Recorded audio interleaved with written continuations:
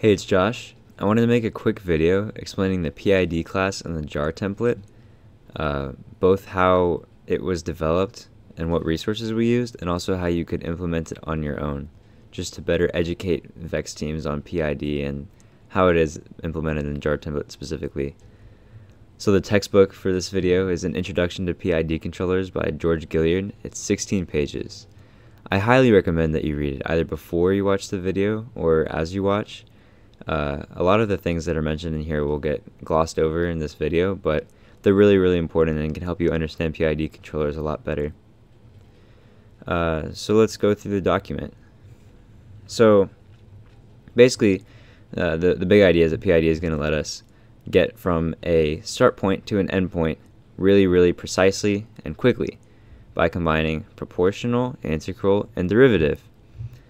Uh, so if you've ever done a time-based code on your robot, or maybe a non-PID code where you just drive and then stop whenever you've reached the distance that you want, you know it doesn't work because the uh, ideally you would just stop immediately, but in reality you're going to keep uh, drifting for a little bit, or maybe you stop too early, and so your robot never really finishes exactly in the same place.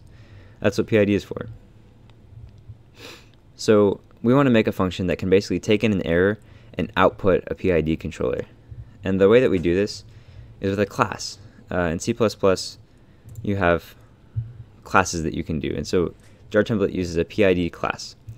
Uh, there are four things that we want. We're going to look at this part of the class. So uh, we have the .h file where everything is declared, and then the .cpp file over here where everything is going to be defined. We'll start by looking at the .h file. It tells us what functions we're going to have, but not exactly what they do just yet. We have two constructors. One of them you'll provide the uh, starting error, and then the PID and start I. And then these are going to be used later for settling, settle error, settle time, and timeout. And then a different constructor where it's just error, PID, and start I. These are the two important functions, uh, compute and is settled. So compute is what you use whenever you call the PID. You give it an error, and it outputs the output that you should output to your drive or your lift or whatever you're using your PID for. And then is settled is used to check if the PID is settled. That'll take the settle error and settle time and timeout and then determine whether or not you've settled or timed out based on the input. Then we'll get to that later. So let's go back to our paper. We have uh, proportional. So the error, we just do set point minus sensor value. In robot terms, that's something like error equals uh, desired output minus uh, drive dot get rotation, something like that. Maybe if it was in degrees, you would do degrees, but if it was in inches, you would do something in inches. So this is the table that shows you how the error works. Uh, here's where KP comes in. If you just set power equal to error, that's not going to be quite right. So you need power equals error times KP. In jar template terms, power is going to be actually output. And so here's where that is. That is in PID.cpp. And so we'll start by computing and we'll have output equals kp times error. That's quick and easy. We input the error, we output the kp times the error. These we'll get to later, and those are the i and the d terms. So, uh, in reality, if you're implementing the PID, you need this while loop around the outside of it. The PID class doesn't have a while loop. It only lets you compute. And uh, the jar template PID class assumes that you're taking a rest of 10 milliseconds, which is why the time spent running always plus uh, always adds 10 each time it goes through the cycle. Let's go to integral. So if you've made a p-loop, maybe you did it just now if you were following along with the tutorial, you notice that your robot doesn't quite make it to the target sometimes. It'll have, uh, if it has not enough power, then it'll finish a little bit far away from the target and needs a little bit more of a push to get there. And if your P is too high, then it'll oscillate a lot and never really finish, or at least it takes a really long time to because it's oscillating. And so the integral helps you with that problem. So the integral is just the area under the curve of error versus time. What that does is that the longer you're far away from the target, the more the algorithm will try to push you toward the target. So uh, the way that you do this in code is by accumulating the error. So this uh, integral equals integral plus error times dt. In jar template, that is accumulated error plus equals error. Plus equals is the same as accumulated error equals accumulated error plus error. And instead of uh, integral, we just call it accumulated error for more specificity. Uh, you'll notice that this accumulated error plus equals error is inside another if statement, which we'll get to later. And uh, the output, we multiply by ki, and we add it to whatever we got from kp, and we add it to ki.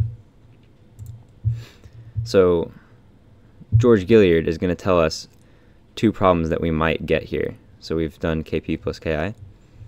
Uh, our first problem is going to be uh, that once we make it to the set point, the integral will be significant enough to keep the output power high enough to continue. If you're driving, that just means that once you finish the drive, the integral is still going to be uh, more than zero because you've been on one side of error equals zero for a while. And so it'll keep trying to push past that. The simple answer is if error equals zero the set point, integral equals zero. In jar template, that is uh, right here. So what this if statement does is it checks if either the error has crossed from positive to negative, that's this right here, or if error has crossed from negative to positive, that's this right here. And if either of those is the case, it sets accumulated error equal to zero, and the ki effectively gets shut off. Problem number two we get is that sometimes the integral winds up. You get a really huge integral that uh, never gets shut down, and it basically becomes useless because nothing will affect how high the integral gets. So you can either set a maximum value, you can uh, set integral to equal zero if the error is too big, or gradually increase. Uh, for jar template, we're going to do solution two. That is generally considered to be the reasonable solution two, and that's what start i is. For turning, Start i is 15 degrees. You can imagine that if the robot is outside of 15 degrees, then the accumulated error will get set to zero. As soon as it's within 15 degrees, then it'll start adding up over time. Uh, the reason we have uh, fabs error right here, that is just float absolute error. So the absolute value of the error he needs to be less than start i. So negative 14 degrees, that's good, and we can have accumulated error plus equals error. Those problems are taken care of now. We can move on to the derivative. So, derivative. What's that? If you've taken calculus, you know that derivative is another word for speed. So in Vex, it's no different. Derivative is just another word for speed. So we have uh, current error minus previous error over dt, but if dt is constant, we can have current error minus previous error. Very simple. Derivative equals error minus previous error, previous error equals error. Let's look at how we're going to implement it. Uh, pretty basic after we set the output, we do previous error equals error, and then whenever we have the output, we do uh, add kd times error minus previous error. And we're good to go. So this incorporates p and i and d. If you're following along at home, then you notice that yes, we have tuning, yes, we have this other section of the paper, but for the most part, we're done coding. But the problem with this is that we still have more PID or, or more parts of our loop to tune. So we don't have any way of checking if the robot has reached its place. You don't want to check if the robot has reached the exact position because that is a little too broad and the exact position is particularly narrow because if you want to say error equals zero then the robot has to be precisely at zero inches and that's just not going to work ever. What we have is settle error and settle time.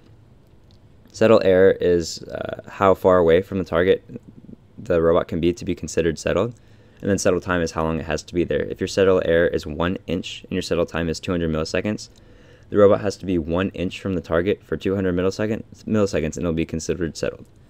Timeout is something separate, so you can see that we ass assign uh, settle error, settle time, and timeout. Timeout is separate. That's just if your robot isn't going to get to the target, then it moves on. So if you if your turn gets stuck in the middle, then we have timeout generally equal to 4,000 milliseconds or so. So that's four seconds. You turn and it doesn't get there, then it just moves on to the next move so that your run can keep happening even if you get stuck. With all those combined, we need a way to check if it's settled. So uh, let's look at is settled first. Is settled is just a boolean that will return true or false. So if time spent running is greater than timeout, then we want to return true. And if time spent settled is greater than settle time, then we want to return true true, basic enough, and uh, if neither of those are true, then it'll just return false because it'll make it to the end. This timeout does not equal zero is actually pretty important. If you set timeout equal to zero, then that's the same as setting it to an infinite timeout because this will never return true. Uh, Now let's look at how we mess with time spent running and time spent settled. So if the absolute value of the error, again, because we want to include negative errors, is less than the settle error, then we add time 10 to the time spent settled because 10 is the time we delay in our loop. Otherwise, time spent settled gets set to zero. So if you pass through the settling error and then you go out of it again, then it doesn't keep adding up the time that you had beforehand, it resets. And finally, we uh, add 10 seconds to the time spent running each time it loops through. Simple enough. So we can go straight from an error uh, create the PID output, check how settled we are, and then return the output. And you'll see how it's implemented in Drive CPP. Over here, let's look at the first uh, function, uh, turn to angle. So when you create a PID, the class is called PID, and then you create the actual name of this. So we'll say PID, turn PID. We first tell it the error, and then everything else is passed in. We uh, get turn KP, turn ki, turn kd, turn start i. Everything else comes from the function that we pass it in in jar template. And then here's where we can use the is settled function to check if the PID is still not settled. Whenever it becomes settled, this while loop will exit, and we can stop both sides of the drive. So that is the uh, pretty basic explanation of jar template PID and how the class system works. I again would highly recommend that you read this uh, George Gilliard paper thoroughly. It's really excellent and it's really specific for Vex. Uh, hope to see you in another video and thanks for watching.